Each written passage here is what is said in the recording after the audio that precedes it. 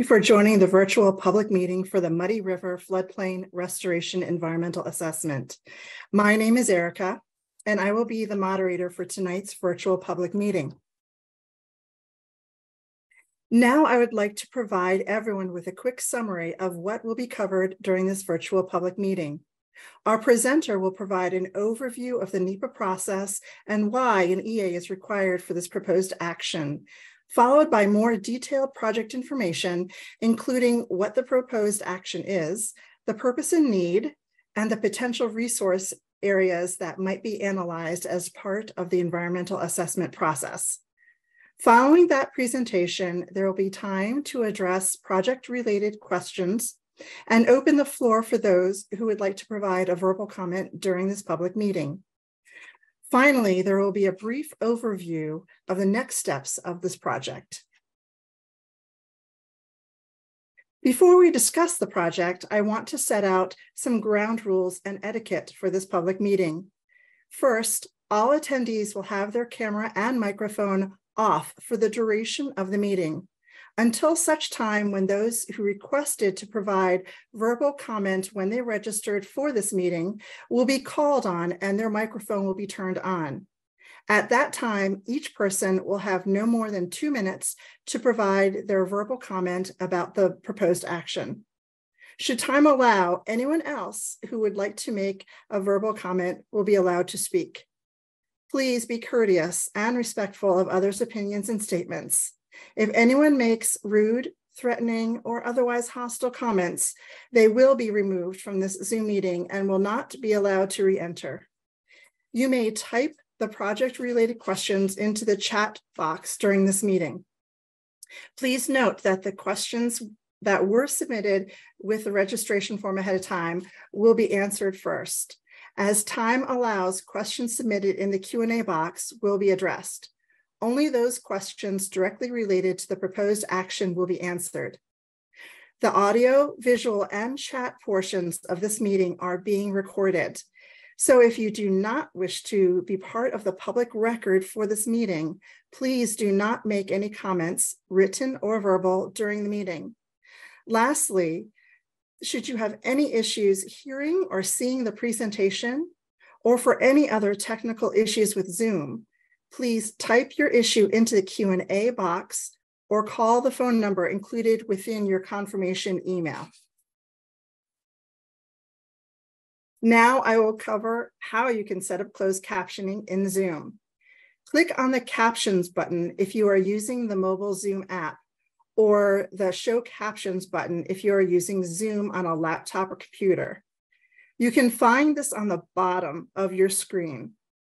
As presenters speak, words will continue to scroll across the bottom of your screen. You can turn this function off by clicking the Hide Captions button in the same area of your screen. Throughout today's meeting, the public can submit any questions into the Q&A box. We will keep a record of all Q&A submissions. For those of you who are not familiar with Zoom, I would like to use the Q&A box. This slide provides some instructions on where to find the icon. You will want to click on that icon to open the Q&A box.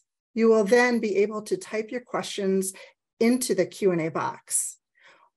Excuse me, once you have finished typing, be sure to click enter to submit what you have typed. The Q&A box can also be used if you're having technical difficulties, or you may call the phone number provided in your meeting registration confirmation email. I appreciate your patience as we work through those necessary topics for how tonight's meeting will work. I will now turn it over to Bruce Sillitoe, the field manager for the Las Vegas field office, who will provide the welcome and introductions. Bruce. Thank you, Erica. Good evening, everyone, and welcome to the virtual public meeting for the Muddy River Floodplain Restoration Project. My name is Bruce Sillitoe. I'm the field manager for the BLM Las Vegas field office. I appreciate you joining us tonight. The BLM is conducting a 30-day public scoping period for this project. The scoping period is part of the environmental review process required by the National Environmental Policy Act. The presentation tonight is intended to share information uh, with you all about the about this project, uh, uh about the Muddy River project, and the BLM does manage a portion of the Muddy River floodplain.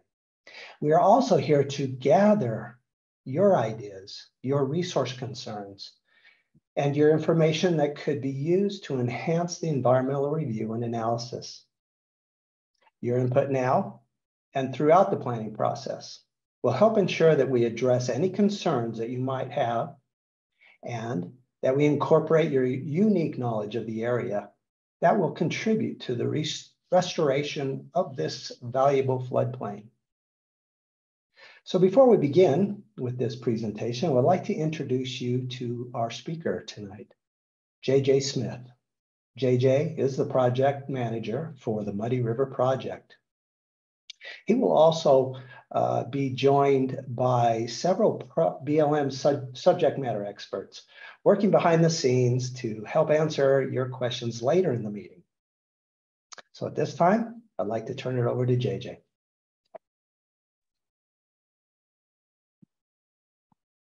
Well, thank you.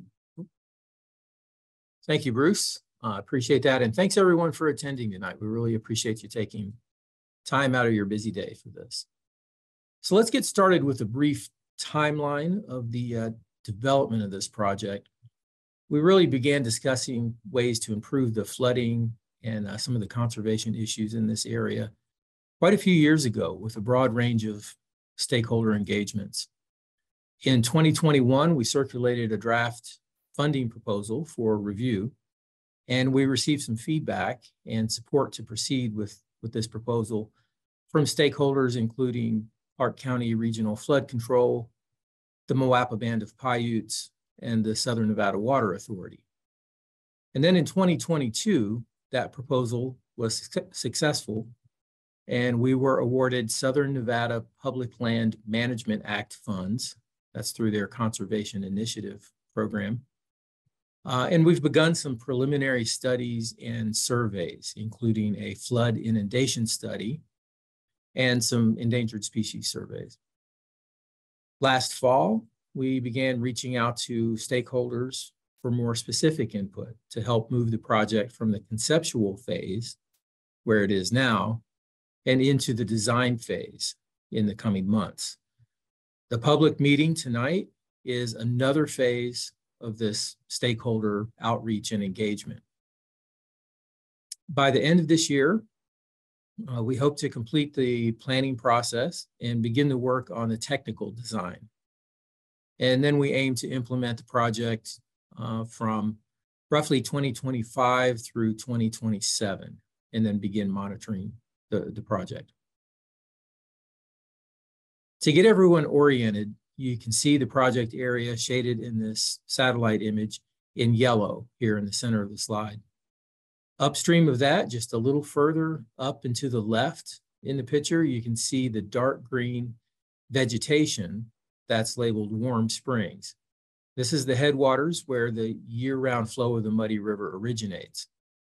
If you look further upstream in the upper uh, left portion of the slide, there are two desert washes uh, with their dashed lines on the map. These are Muddy Wash and Pahranagat Wash. And these only have surface water during flood events.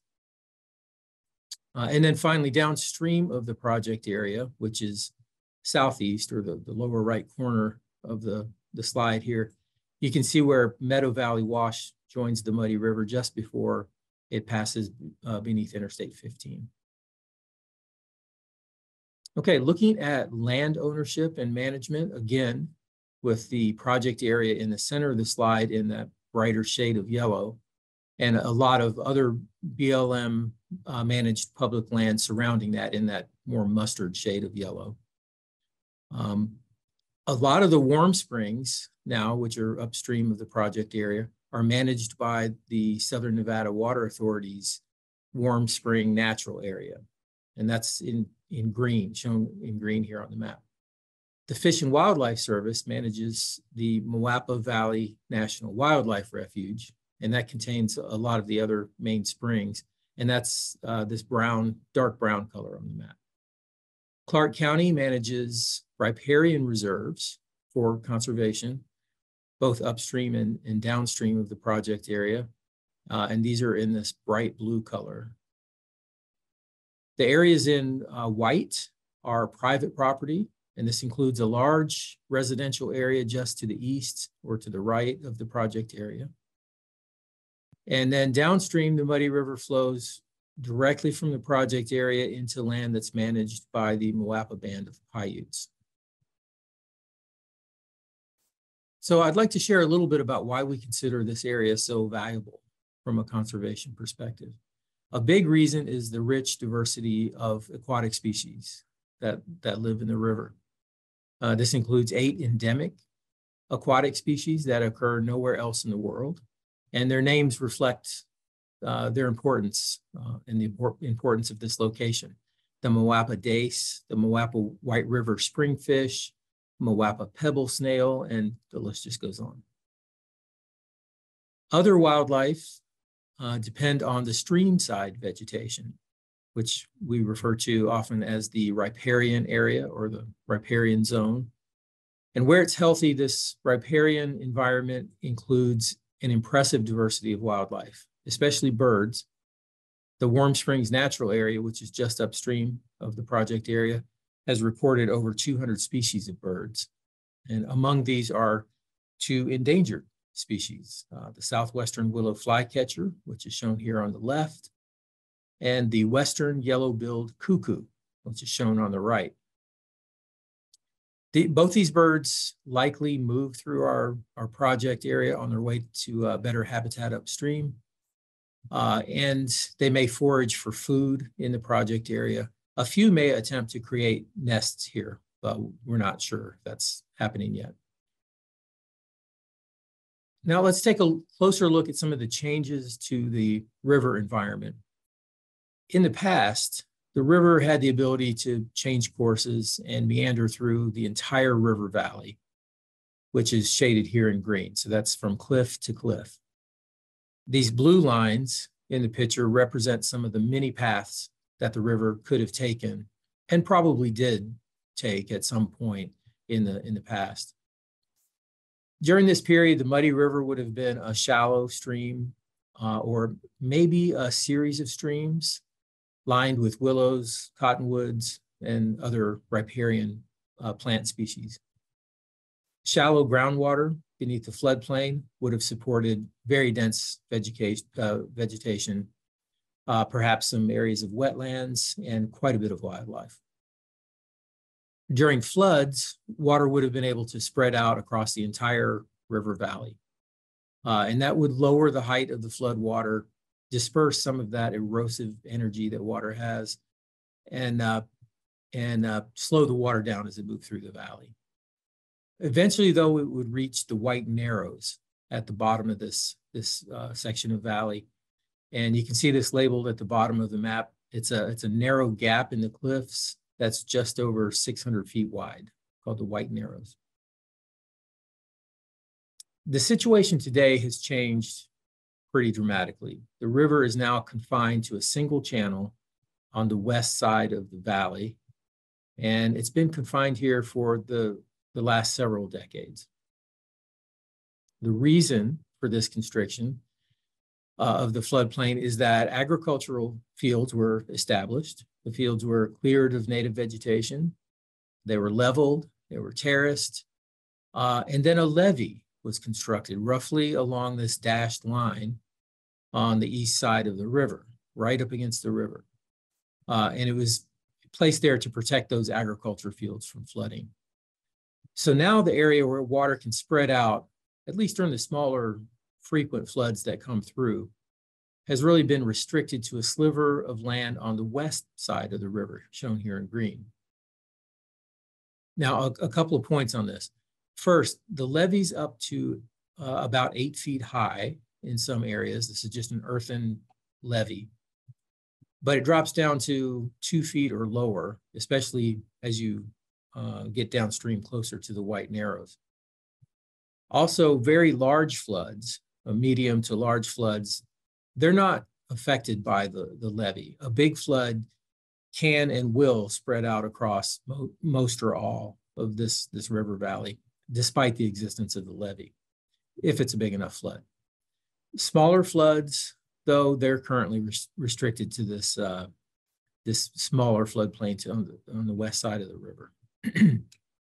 uh, another point, since 2014, there have been a few flood events that have broken through the levee in at least two places, and that's indicated by these blue arrows on the map. These breaches in the levee happened about 10 years ago and were caused by woody debris getting caught on old irrigation pipes and uh, concrete footings and other objects in the stream. These debris dams temporarily diverted water out of the stream channel. Some of that debris washed in from upstream, where a lot of these old agriculture fields are reverting to riparian forest. And then some of the debris came from projects within the, uh, uh from uh, uh, came from within this project area that we're talking about from treatments that we did to reduce tamarisk, which is also known as salt cedar. Uh, and this is an invasive species, excuse me, it's caused a lot of environmental problems throughout the Western United States. And despite our efforts to keep the debris out of the stream channel by chipping like you see in the uh, upper right and piling and burning like you see in this lower in these lower photos, we know that some of this material ended up in the in the stream channel and contributed to these debris dams. So we're very aware of the issues that this can cause to adjacent lands and also downstream. Fortunately, the major tamarisk treatments have been completed in the area, but it's worth noting that even where tamarisk is not an issue, former farmland throughout the this whole upper portion of the Muddy River Valley is reverting to native shrublands and woodlands. So there will, excuse me, there'll continue to be woody debris moving through this system during flood events. Uh, and there are also a few wild cards, including the beaver population. Uh, there are beavers out there, and as their favorite food increases over time, uh, their population uh, may increase. So that could be more of a factor in the future. Okay, back to the levee. In addition to restricting the size of the floodplain, levees force water into narrow channels where the energy of that water can lead to downcutting, where the stream channel keeps getting deeper and deeper. So th this means that the channel, uh, you know, one thing it means is the channel can hold more water during a flood before it eventually spills out of its banks. But that's not necessarily a good thing, especially if you're downstream of one of these uh, channelized rivers and you don't necessarily want a big pulse of water arriving all at once. Another effect of this uh, down cutting, which is also called incision or an incised channel, is that it can contribute to a drop in the adjacent water table. And we suspect this is the case within our project area. Uh, we have some monitoring wells not too far from the edge of the stream that have a depth to the groundwater of about 20 feet. So it's pretty hard for some of the native trees like willows and cottonwoods to become established under these conditions. Uh, unfortunately, tamarisk really thrives in these conditions. It can reach water very, very deep underground. So here's a little diagram that illustrates our situation. We have a channelized river caused by the levee and a floodplain that's disconnected from the stream, meaning uh, routine floods can no longer spread out and slow down, and shallow groundwater is not available for the establishment of native trees. Tamarisk, like I said, on the other hand, can reach this deeper water. So over time, it became the dominant tree species. And not just on some of these higher terraces of the floodplain where the water's naturally deeper, but throughout the entire river valley. Some native plants, though, uh, especially honey mesquite, uh, can uh, have recolonized after the agriculture activity ceased, which is good. But now they occupy space where cottonwoods and willows could be if the water was more accessible to them. So here's a diagram of uh, a much better situation. It's a floodplain that is reconnected with the river. Upper terraces or areas with deep groundwater have fewer tamarisk trees and are mostly dominated by honey mesquite, which is the species that can reach that deeper water. The floodplain has uh, shallower groundwater that supports the recovery of species like willow and cottonwood, ash, uh, screwbean mesquite, which is a, another species that provides uh, wild, wildlife habitat for a lot of, a lot of uh, wildlife species. So based on that desired future condition, we've begun to spell out some goals for this project. First, we'd like to begin the process of reconnecting this floodplain to the river, where it's practical to do so within the project area. We also want to be good neighbors and mitigate, if we can, uh, floods in this portion of the river valley and for people living downstream. Uh, and we would do this by giving the, the smaller, more frequent floods a place to spread out across the floodplain, a little bit more room to spread out. Uh, another goal is we want to continue to manage invasive plants and re restore native species that support wildlife, including the two endangered species that I, I mentioned earlier. And then we want, we want to explore the next steps. So part of this project uh, provides funding for us to take a look at whether we should do anything beyond just giving the river some breathing space. For example, um, could we at some point in the future uh, raise areas of the stream bed or lower portions of the floodplain? Could we create meanders in the stream channel or some other features that would uh, help address some of these flooding and conservation issues? A few additional goals for this project. Currently, we, we just don't have a lot of information on the traditional uses or the recreational uses out there. So we're interested in learning more about how we can maintain access. Uh, should we try to enhance it? Uh, or are there changes that uh, we should be taking a look at and analyzing? We're also actively seeking collaboration and looking for ways uh, to provide opportunities for people to participate. And this could include anything from providing input right now on the project design or participation later on in reestablishing some of these native plants, especially if we can get some young people. Just a couple of weeks ago, we had a, a, a volunteer event uh, along the Virgin River near Mesquite, where we volunteers came out and planted 350 trees. So there are plenty of opportunities to get involved.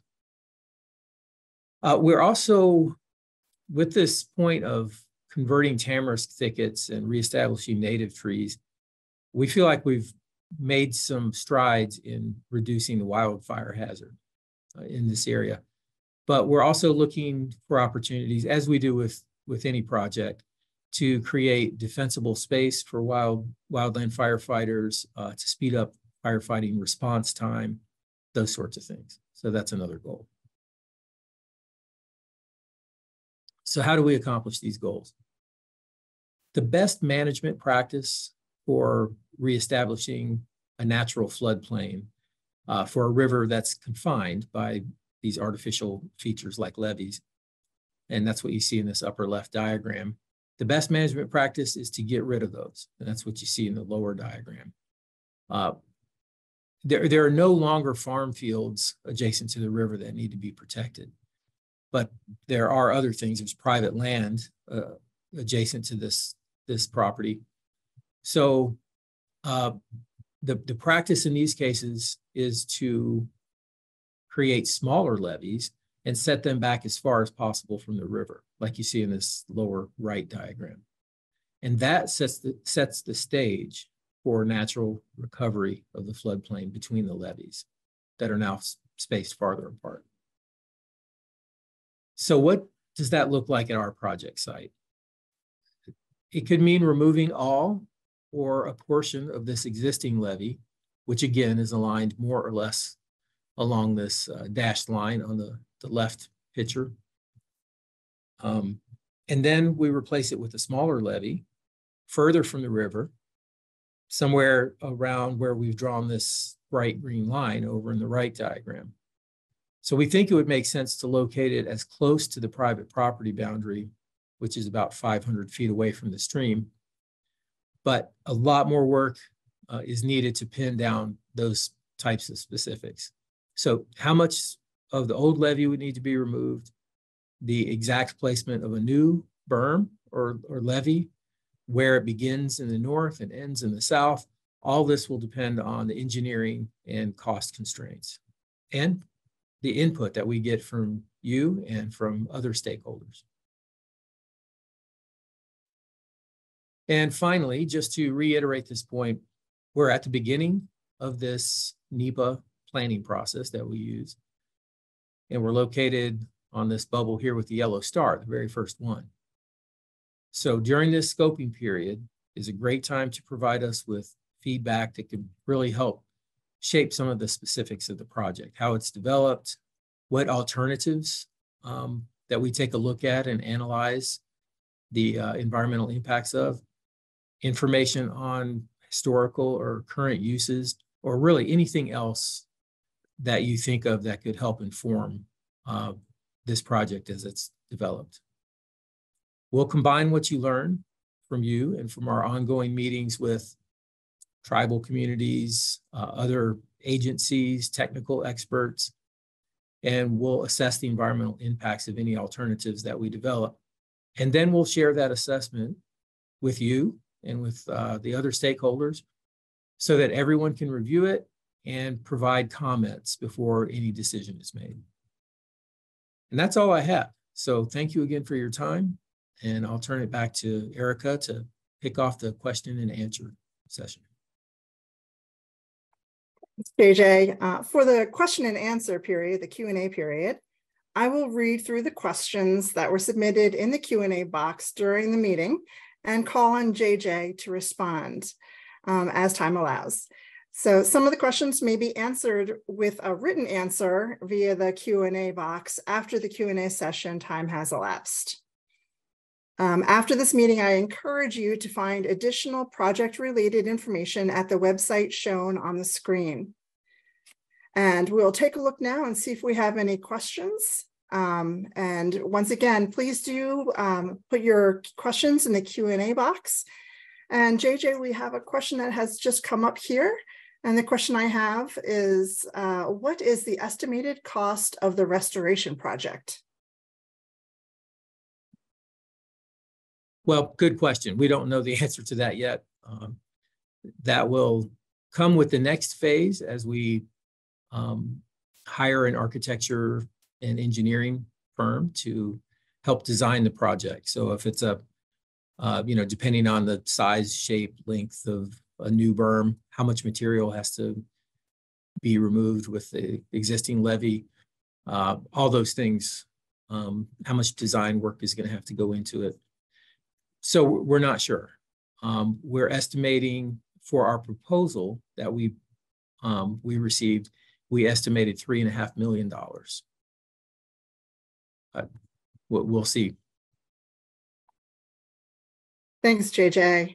And uh, once again, we're just waiting for more, some more questions to come through. So while we wait, um, for those of you that are here with us tonight, definitely you can go to the Q&A box and type any question, questions that you may have on the proposed action. And uh, we'll do our best to uh, uh get you some responses.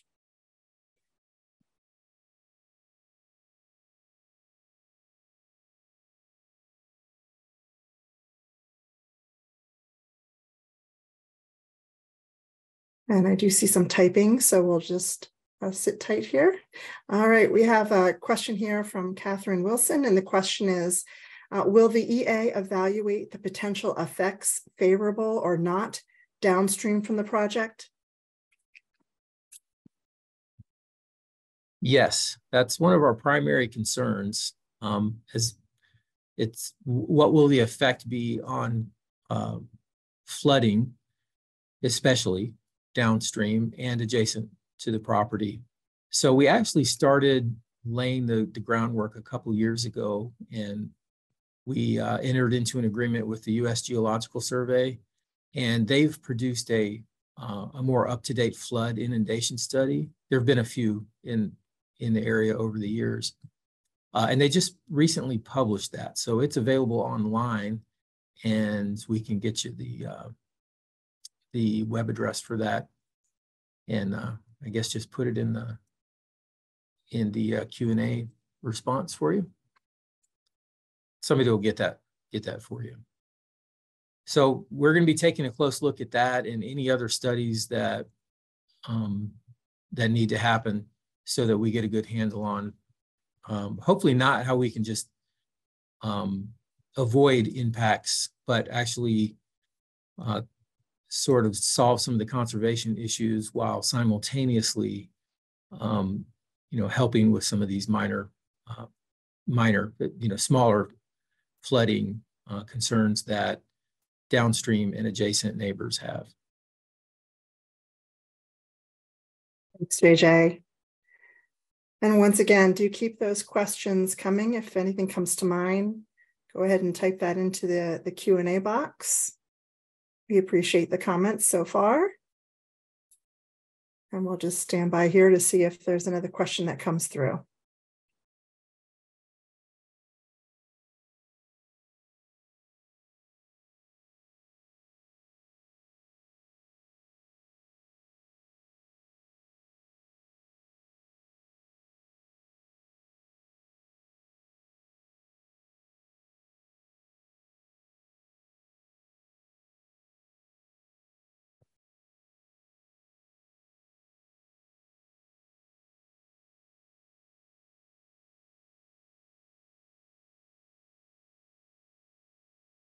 Wanting to make sure we leave some time here for you all if you've thought of anything that you would like to ask our presenter today.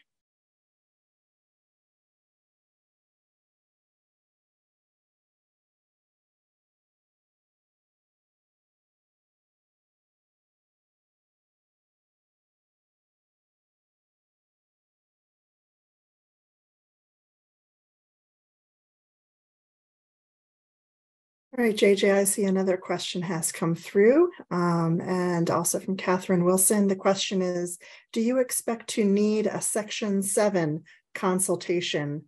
And I'm not sure if most folks will know what that is anyway. So if you could elaborate on that, that would be great.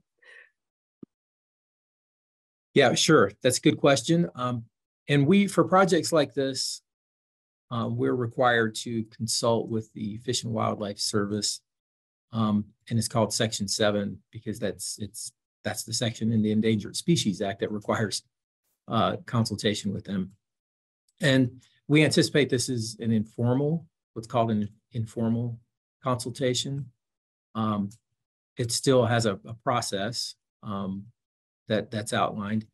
And we've already had someone from Fish and Wildlife Service visit the site with us, and we've begun uh, the process of collecting data. So we have a contractor out there um, doing surveys in uh, last year for the southwestern willow flycatcher, and then beginning this year again for the flycatcher, and then also for the western yellow-billed cuckoo.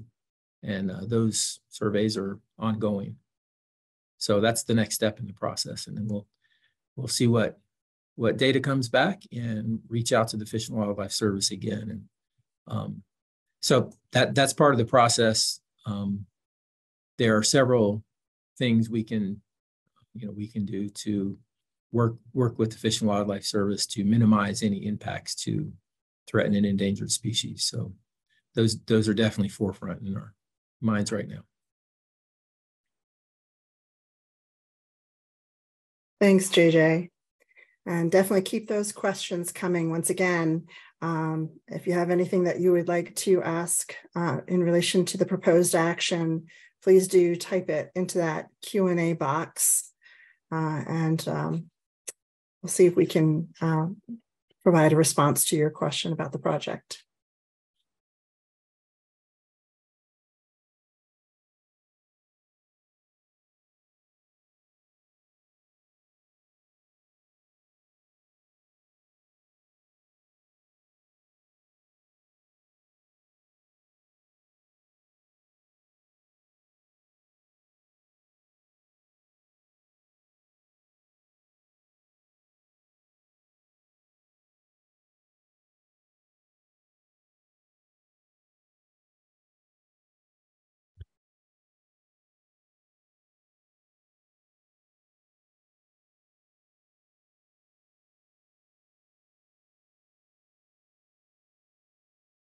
JJ, we're just going to try to give folks a few more minutes to see if something comes to mind that they want to, to ask about the proposed action.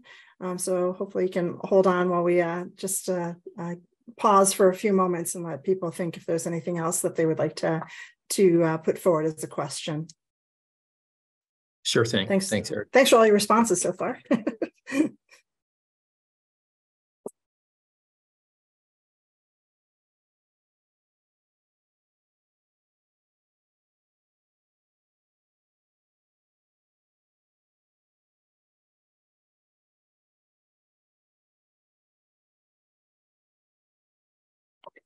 We're going to go ahead and move on to the, the comment se um, section or session of the meeting. Um, but I also do want to remind you all that we'll continue to answer any of the uh, answer questions about the proposed action uh, throughout the meeting uh, through the Q&A box. Uh, so if you do have any questions, to do please um, uh, type them into the Q&A box. And JJ, once again, thank you for, for uh, all your responses. All right. so what I'm going to do now is we're going to shift and I'm going to provide some information regarding the public comment process for tonight's meeting. All right, to get started, I will discuss more specifically the types of comments BLM is seeking during the scoping period, which began on February 27 and will continue through March 27. During the scoping period, applicable federal, state, tribal, and local agencies, along with affected members of the public, are invited to provide comments specific to the proposed action and items to consider, such as potential alternatives or impacts to resources within the project area, rather than those that simply state support or opposition to the proposed action. This virtual public meeting is one piece of the public engagement process, as are the written comments submission submitted. Um, the submission options are shown here on this slide for your written submissions. All emailed comments must be received by 11:59 p.m. Pacific Daylight Time on March 27, 2024, or postmarked by the date, if mailed, to be considered within the draft EA analysis. Uh, comments may be submitted uh, to the mailing address or email address shown here on the slide. We'll pause here for a moment so you'll have a chance to uh, read and if, if necessary, um, if you'd like to jot down both that uh, address for mailing in your comments as well as the email address that's shown here on this slide.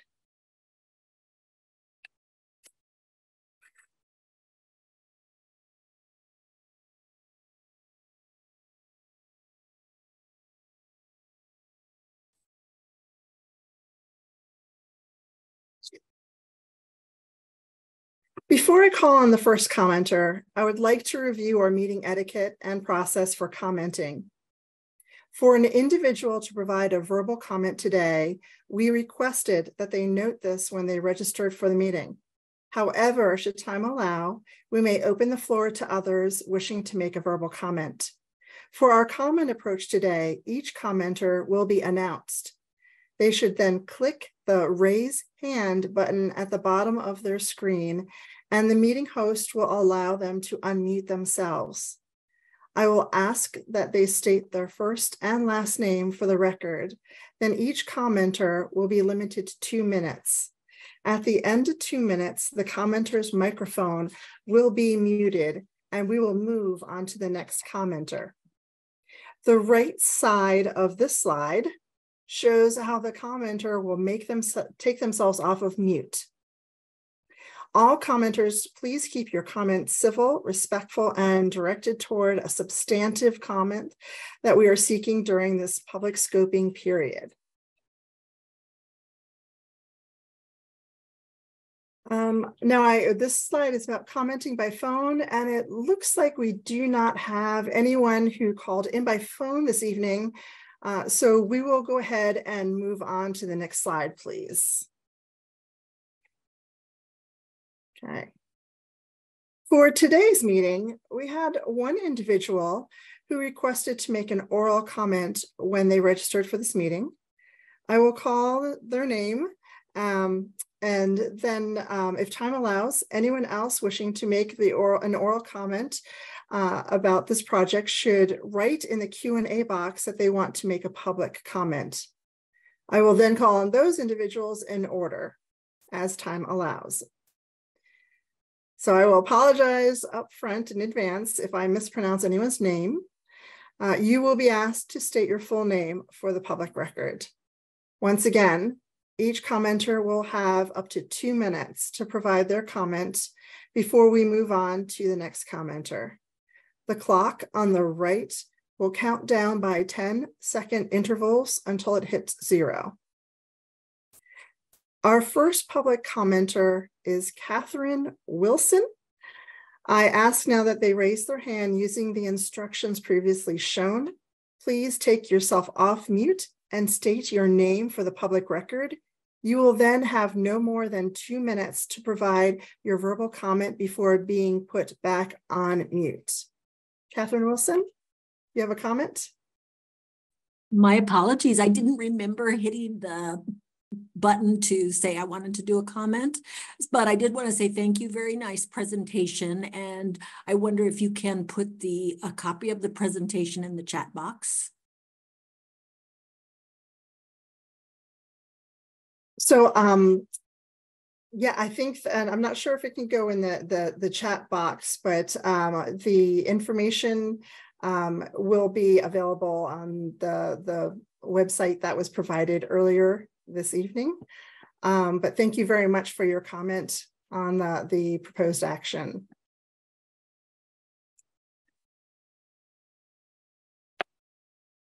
All right, let's see if we have any other people wishing to make a comment on the proposed action. Once again, please do include your name uh, or your interest in making a public comment in the Q&A box, and then we will call on you.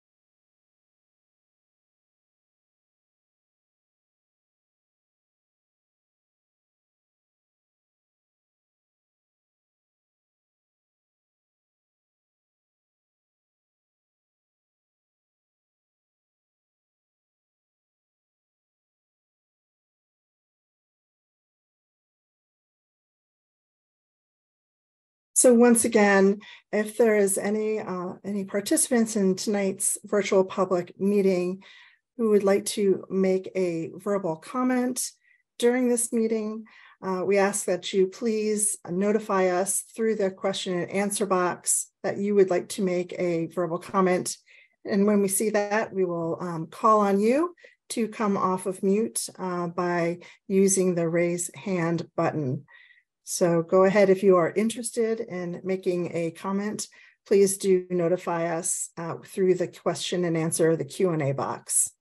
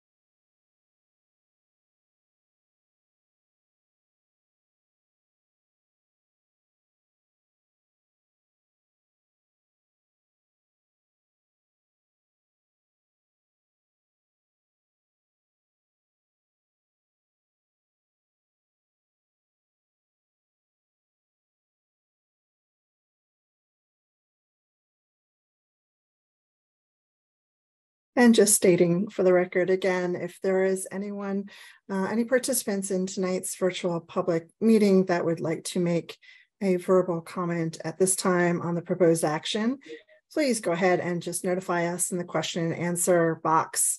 Once we see that, we will call on you and uh, we'll have you uh, use your raise hand button so that we can have you come off of mute and provide your verbal comment this evening if you wish to do so.